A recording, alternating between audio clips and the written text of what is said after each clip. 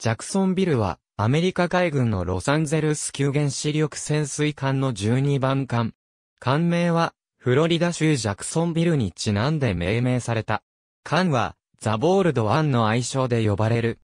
ジャクソンビルは1972年1月24日に、コネチカット州グロトンのジェネラルダイナミクスエレクトリックボート社に建造発注され、1976年2月21日に寄港した。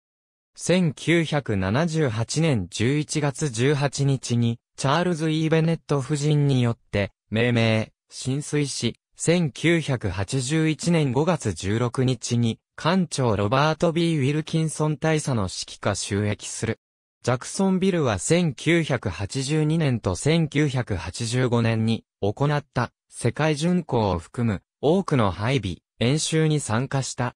1983年、86年、93年、94年には西大西洋に展開し、1987年と93年には地中海に展開した。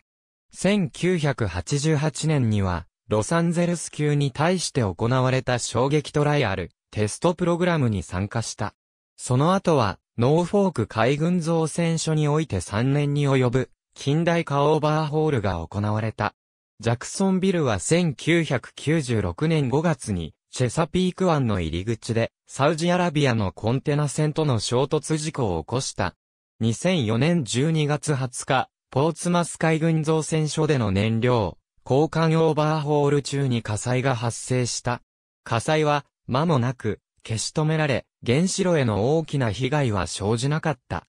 2017年12月11日、ワシントン州ブレマートンに到着し、退役の準備を始め、2018年5月1日、退役。2019年6月26日に、退役セレモニーが実施された。ありがとうございます。